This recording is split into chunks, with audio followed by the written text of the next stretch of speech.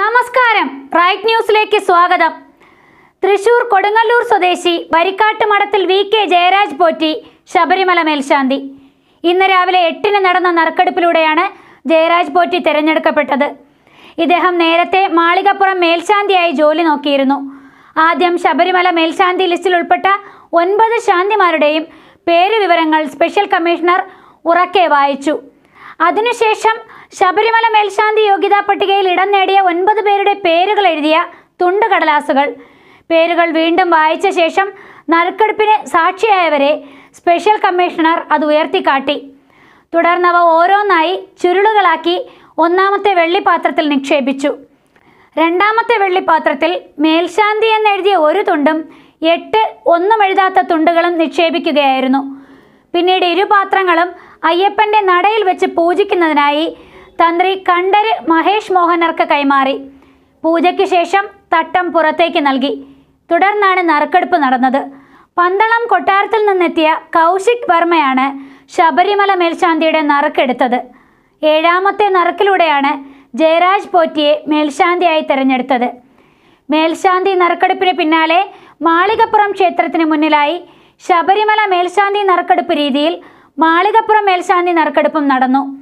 എറണാകുളം അങ്കമാലി സ്വദേശി മൈലക്കോടത്ത് മനയിൽ യമൻ രജികുമാറാണ് മാളികപ്പുറം മേൽശാന്തിയായി തിരഞ്ഞെടുത്തത്. അഞ്ചാമത്തെ നറുക്കാണ് രജികുമാറിന് ലഭിച്ചത്. പന്തളം കൊട്ടാരത്തിൽ നിന്നെത്തിയ ഋഷികേശ് വർമ്മയാണ് ഇവിടെ നറുക്കെടുത്തത്. Thiruvithamkoor Devaswom board president advocate N Vasu ബോർഡംഗങ്ങളായ advocate N Vijayakumar advocate K S Ravi Devaswom commissioner B S Thirumeni ഹൈക്കോടതി നിയോഗിച്ച നറുക്കെടുപ്പ് നിരീക്ഷകൻ റിട്ടയർഡ് ജസ്റ്റിസ് പത്മനാഭൻ നായർ തുടങ്ങിയവർ നറുക്കെടുപ്പിന് സാക്ഷികളായി. ശബരിമല സ്പെഷ്യൽ കമ്മീഷണർ മനോജ് നറുക്കെടുപ്പ് നടപടികൾക്ക് മേൽനോട്ടം വഹിച്ചു. ഇന്ന് പുലർച്ചെ അഞ്ചു മണിക്ക് ശബരിമല ശ്രീധർമ്മശാസ്ത്ര ക്ഷേത്രനട തുറന്ന് നിർമാല്യവും അഭിഷേകവും കഴിഞ്ഞതോടെ അഞ്ച് ദിവസം നീളുന്ന തുലാമാസ പൂജകൾക്ക് തുടക്കമായി. അഞ്ച് മുപ്പതിന് തന്ത്രി കണ്ടരി മഹേഷ് മോഹനരുടെ മുഖ്യ കാർമ്മികത്വത്തിൽ മണ്ഡപത്തിൽ മഹാഗണപതി ഹോമം നടന്നു. അഞ്ച് നാൽപ്പത്തിയഞ്ച് മുതൽ ഓൺലൈൻ വഴി ബുക്ക് ചെയ്ത അയ്യപ്പ ഭക്തർ ഇരുമുടി കെട്ടുമേന്തി പതിനെട്ടാം പടി കയറി ദർശനത്തിനെത്തി തുടങ്ങി. തമിഴ്നാട് ആന്ധ്ര കർണാടക എന്നീ സംസ്ഥാനങ്ങളിൽ നിന്നുള്ള ഭക്തരായിരുന്നു ആദ്യ ദിനം ദർശനത്തിനായി മല ചവിട്ടിയത്.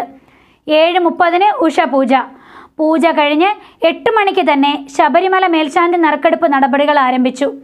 രണ്ടായിരത്തി ഇരുപത് നവംബർ പതിനഞ്ചിന് ആരംഭിക്കുന്ന മണ്ഡല മകരവിളക്ക് തീർത്ഥാടനം മുതൽ ഒരു വർഷമാണ് പുതിയ മേൽശാന്തിമാരുടെ കാലാവധി. പുറപ്പെടാ ശാന്തിമാരായ ഇരുവരും നവംബർ പതിനഞ്ചിന് ശബരിമലയിൽ ഇരുമുടിക്കെട്ടുമായി എത്തി ചുമതല ഏറ്റെടുക്കും.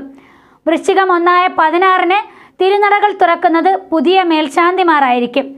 കോവിഡ് പത്തൊമ്പത് മാനദണ്ഡങ്ങൾ പാലിച്ച് പതിനേഴ് മുതൽ ഇരുപത്തിയൊന്ന് വരെ വെർച്വൽ ക്യൂ സംവിധാനത്തിലൂടെ ദിവസേന ഇരുന്നൂറ്റി അൻപത് പേർ എന്ന കണക്കിൽ അയ്യപ്പ ഭക്തർക്ക് ശബരിയിൽ ദർശനത്തിനുള്ള എല്ലാ സൗകര്യങ്ങളും ഒരുക്കിയിട്ടുണ്ട്.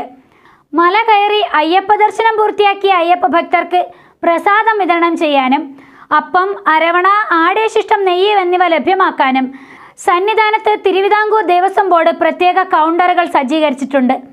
കോവിഡ് പത്തൊമ്പത് സുരക്ഷാ മാനദണ്ഡങ്ങൾ പൂർണമായും പാലിച്ചാണ് അയ്യപ്പ ഭക്തർ ദർശനം നടത്തി മടങ്ങുന്നത്. ദർശനത്തിനെത്തിയ അയ്യപ്പ ഭക്തർക്ക് അന്നദാനവും നൽകുന്നുണ്ട്. News desk right news.